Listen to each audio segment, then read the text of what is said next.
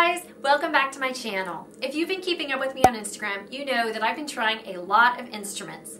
Largely because so many of the students in my studio are looking to purchase new instruments or new to them instruments.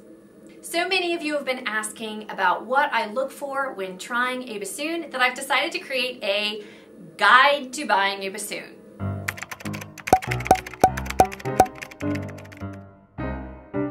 Making sure that I have a great quality reed that matches the instrument and the vocal is of key importance. I know that when I try Heckel bassoons, oftentimes if it's an earlier number of a Heckel bassoon, I will use shorter reeds. Whereas if I'm trying a Fox or Renard or a Puchner or a Moosmann, I will actually use longer reeds. So do be sure as you try this that you match the reed to the bassoon so that your testing is accurate.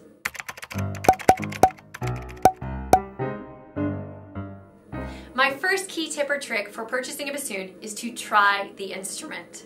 Now, it's great to go with a brand name that has a reputation for being a good instrument, but it's important to note that I've tried a lot of really good brand name instruments and I've also tried a lot of really bad brand name instruments.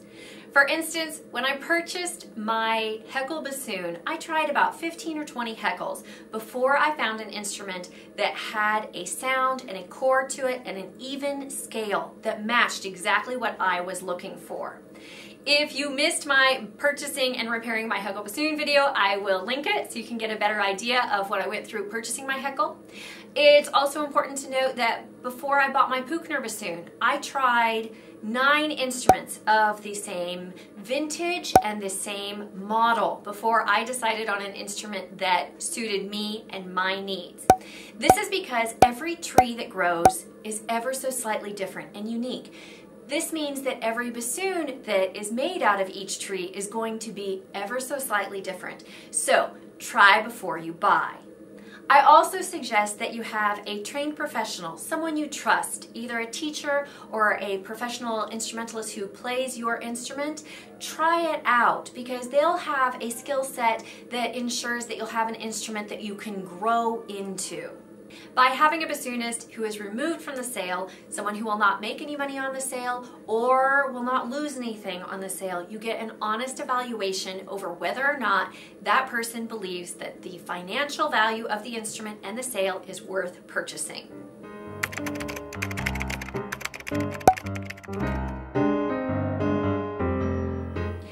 Second key tip and trick for you is to make sure that you are working with a company or a seller that has a reputation.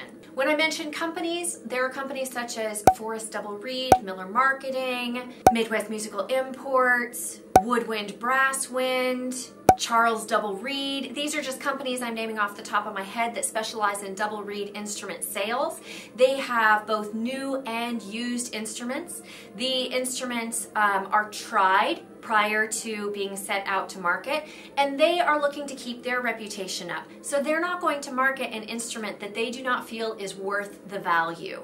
These are also companies that have had experience working with sales and can help with how to best set up the sale for success. When working with individual sellers, it's important to make sure that you have the instrument evaluated by someone other than yourself. This is why I mentioned in my first key tip and trick to make sure that you have a teacher or a professional bassoonist try the instrument prior to purchasing so that you get an outside perspective. Also, it's important that you have a background on the person who's selling the instrument. That way you know that when you give them money to try the instrument that you will then get the instrument. So there's no confusion over you gave them money and no instrument actually arrived. So always be sure that you have a bit of a background on the person who is selling the instrument, whether that's a reputation through your teacher who is helping you find the seller or by you knowing the seller personally and having a relationship with them. It's risky business to go into buying such a large financial obligation without a backup. So always know your seller.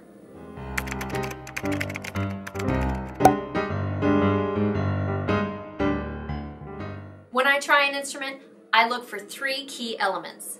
The first of these is response. I make sure that the instrument has clear articulation, a front of the note as well as an ease to the end of the note. I try this at a piano dynamic as well as a forte dynamic with different articulations such as an accent as well as a staccato just to see how the basic articulation of the instrument responds.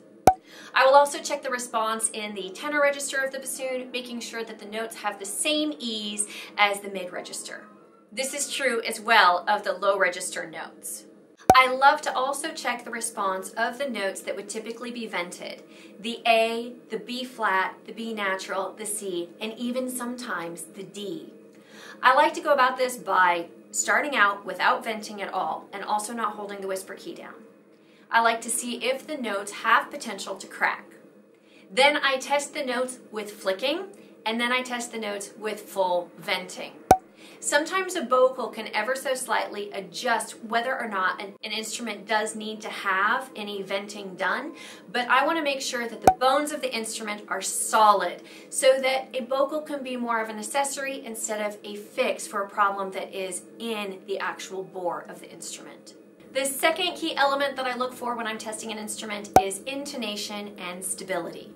I want to make sure that the scale is even.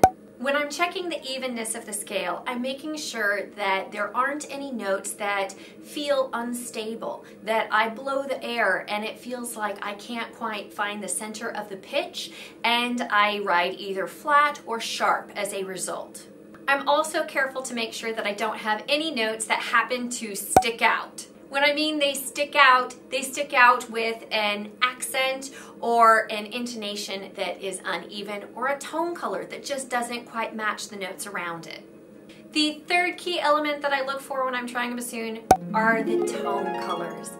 Does it have a richness and a depth to the sound? I know that I've tried some bassoons that only have one color palette, that they've just been all in shades of red. I have tried bassoons that have only primary colors, and I have tried instruments that have a full spectrum of colors, all of the colors in the prism. As I'm looking for the tone colors, I want to make sure that it's flexible. Flexible enough to give me some of those bright tone colors, but flexible enough that it can also give me some of those richer dark tone colors as well. This gives me a variety of a palette to play with. Now, as I am trying instruments for my students, there's a separate portion that I do when I'm looking to try an instrument for them. I want to make sure that the instrument meets their needs.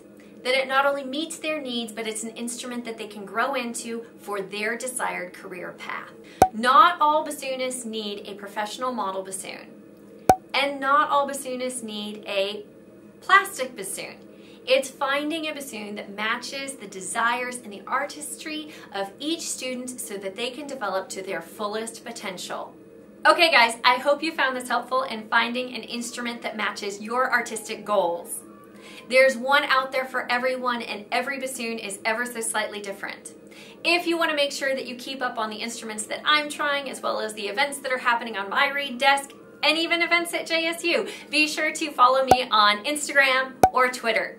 If you liked this video, go ahead and give it a thumbs up. And if you want to make sure you don't miss any future videos, be sure to click that subscribe button. I will see you guys next time. Bye! That means that you're not going to have any response on the notes that these keys use. So, having a bassoon stand is key largely because it can hold your bassoon up and you don't have to stick your bassoon in a corner.